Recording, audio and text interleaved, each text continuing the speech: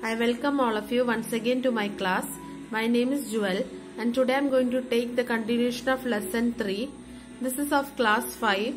I am dealing with ICSE syllabus Cordova publications. Please like, share and please subscribe to my channel if you like to hear my further chapters from this textbook. Now let's discuss the exercise part of this lesson. You have lived so very very long, a hundred years or more, I am told, and yet you are not so very old. What does this mean? A. The tree has already lived for a very long time and still it can live for many more years. B. The tree is not as old as it looks. It is A.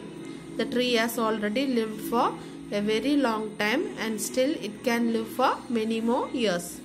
Now, I'll find the same dear friendly tree. It means A.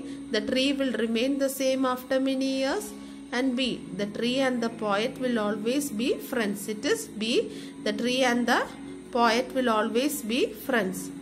The tree has a very special place in the life of birds. Do you agree? Why?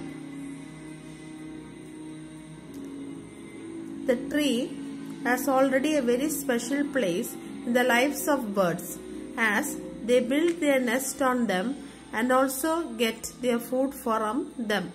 Now, find the rhyming words from the poem for the ones given below. Long, strong, old, told, well, tell, shade, played, tree, bee. Then, trees are very useful to us. Draw any two things that we get from trees. Also write that these things are useful. So, we get paper from trees that is used to write. We get medicines that cure us when we are ill. Okay children, I hope you all understood the exercise part of this lesson. Please go through this notes and please share this with your friends and relatives and uh, I know many of you are watching my channel so please subscribe to my channel only then you will get notification whenever I put take the lesson. Okay children, I'll meet you in the next class. Until then, bye.